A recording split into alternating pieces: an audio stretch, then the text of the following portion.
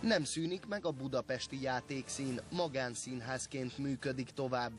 Német Kristóf színész három társával együtt vette meg a színházat.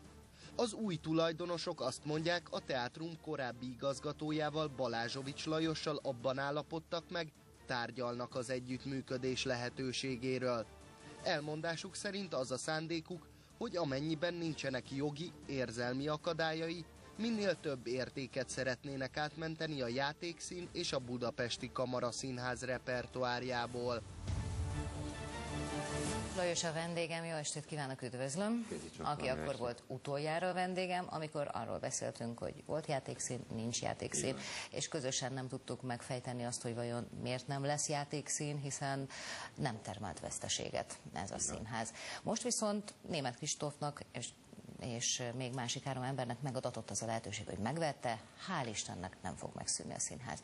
Önnek volt ilyen lehetősége, mint korábbi igazgatónak? Nem, nekem nem ajánlottak föl ilyen lehetőséget. De ezt így valaki ajánlja, vagy hogy van ez? Vagy önnek, lehet, hogy önnek kellett volna érdeklődnie, nem? Én azért ezt több helyen jeleztem, hogy ez még, még, még, még a kezdetek kezdetén, tehát ezt amikor, amikor decemberben elkezdődött az első történet, hogy, hogy abban marad a színház. Én ezt a kérdést fölvetettem, de nem volt rá reagálás. Hát lehet, hogy nem volt elég rámenős. Nem, voltam elég rámenős. Igen, tehát lehet, hogy vissza kellett volna menni még, hogy na, akkor most üzleti ajánlat. De most komolyan mondom, tehát... Nem, nem, nem, nem én ebben nem hiszek. Ez egy eldöntött kérdés volt szerintem. Én inkább azt az ajánlatot próbáltam súlykolni minden hivatalos, vagy nagyon sok hivatalos megbeszélésen, hogy az én személyem a probléma. Azért nem kell megszüntetni egy egész színházat. Nem kell 25 embert elküldeni, mint állandó munkatárs. Nem kell 70-75-80 színészt az utcára tenni, és így tovább, és így tovább. Nem volt erre fogadókészség akkor. Hiába lettem volna én erőszakosabb, én ezt nem kaptam volna meg. Ezt mi a baj? Hát ez egy nagyon jó kérdés. Nem tudom. Sok minden lehet persze. Nézze, ö, ö, túl liberális, nem elég konzervatív, valamelyik politikai párttal tartja a kapcsolatot, vagy éppen konzervatív és nem elég liberális, vagy mi? Jó kérdés, és nagyon nehéz rá válaszolni. Nézze, én, én elég liberális vagyok, és elég, elég toleráns, és mindenkit, akit szeretek, azzal kapcsolatot tartok, függetlenül attól, hogy mi a vallása, mi a pártállása, és így tovább, és így tovább de valószínűleg valahol, valamilyen szinten kaptam egy rossz pontot. De ötlete sincs, hogy hol? Ötletem sincs. Van. Hát ötletem az, az lehet, hogy van. Ötletem az lehet, hogy van. mondani? Most olyan is mindegy. Hát igaz, teljesen mindegy. Akkor még ben volt a szerződésemben, hogy miről nyilatkozhatok, meg mit csinálhatok. Még most már ilyen, ilyen nincs. Nézd, én például a, a Bibó társaságnak odaadtam a színháztermet két alkalommal, amiről visszahallottam, hogy nem, néztek, nem nézték jó szemmel, hivatalosan. Csak példákat mondok. Ott, ott ugye végül is nem, én ugye nem voltam ott jelen, csak a termet adtam oda, tehát nem, nem igazán kormány dicsérő fölszólalások voltak. Nem tudom, csak ilyenekre tudom Kinek mondani. adta még oda a termet? Kinek? Hát akkor menjünk sorba, hát ha még valami kiderül. Még, még találunk valami. Hát ha még megfejtjük ezt a rejtét. Az, az a helyzet, tényleg nem tudom. Ne haragudjon, tényleg, tényleg nem tudok segíteni. Ö, ö, hivatalosan állandóan az volt, hogy nincs velem semmi probléma. De nincs velem semmi probléma, akkor miért kell, miért kell egy egész színházat, ami nem került kevés pénzbe. Na ezt akartam mondani, kérdezni, a végelszámolás, még ha nem is szakmánk, tudjuk, hogy Világos. pénzbe kerül. Azt is tudjuk, hogy a, tehát a, a, a színházat nem azért kellett megszűnnie, vagy bezárnia, a, szüneteltetnie a, a működését, mert hogy akkor a veszteséget halmozott volna fel. Sőt, most viszont van már veszteség, az a végelszámolásból adódott? Ö, ö, tulajdonképpen igen. Nem tulajdonképpen, hanem igen. Tehát a szezon befejezésekor nekünk még 50 millió forintunk volt a bankban.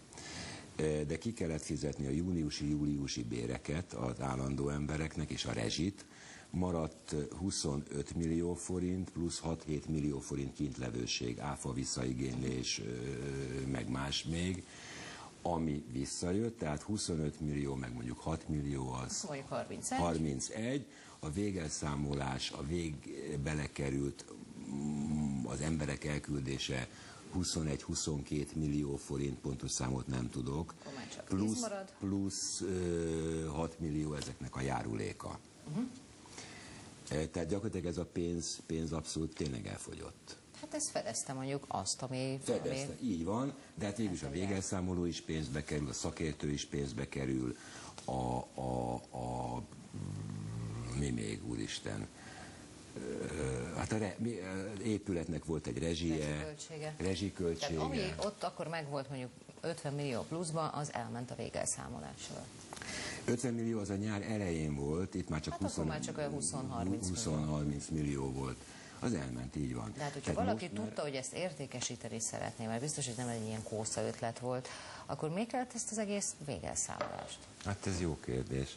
Ráadásul ugye hát a kollégám, aki megvette a színházat, ő azt nyilatkozta, hogy hát ő visszavenni az embereket, meg mindenkit szívesen lát. Akkor most hogy van ez?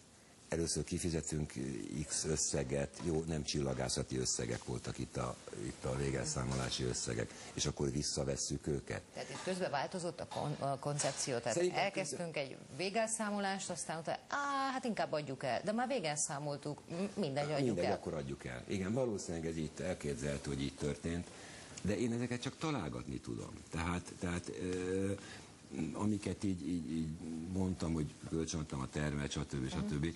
Ezeket is csak ilyen folyosói, belekarolós beszélgetésen, hogy nem hivatalosan mondjuk neked, de hát azért ezt jobb lenne nem csinálni, jobb lenne inkább amaz csinálni. Jó, ez ilyen filmbéli. Egy tehát... filmbéli, igen, igen. Hát ez nem jó. Lesz nem még jó. önnek valami kapcsolat a játékszínnel? Én nem, nem tartom valószínűnek, megmondom miért és nincs bennem sértettség. Én ezt lezártam ezt az ügyet, ezt elfelejtettem, ezt olyat, mint egy rossz vállópert, hogy felejtsük el, aztán menjünk tovább. A nevében a színház bizonyára megmarad, de, de ők akkor csináljanak újat. Én mindig azt szoktam mondani, hogy egy színház, nem véletlenül úgy nyilatkoznak a színészek, hogy én a Várkonyi féle Víg színházban voltam, én a Martól Laci féle, László, bocsánat, Igen. féle én az Ádám Ottónál. Tehát mindig hozzáteszik a, a, a igazgató vagy a domináns személynek a nevét. Hát az nyilván az, a, akkor, abban az időszakban azért a, a stílusát is meghatározza. Így van, így van. Így van. És hogyha ha, ha, ha meg kellett szűnnünk mert tételezzük fel, mondjuk nem jó volt az, amit én csináltam, akkor, akkor milyen alapon kellene, kellenék én még ebbe a történetbe? Hát alapot szerintem lehetne találni, de ezt én már nem tudom nem, hát, kitalálni. Mondok egy, egy, egy buta példát, tehát mit tudom én, valaki elválik, de azt mondja, hogy hát azért a volt férjemet a spejzba tegyük be, mert hát ha szükség lesz rá valamikor. Nincsenek már semmi értelme. Ne, ne, ne, akkor tényleg nem menjen a spejzba. Ugye, ez a vállóper megtörtént, kész, ennyi. Köszönöm szépen, Én is köszönöm. Önöknek is köszönöm a figyelmet, kezdődik a tét.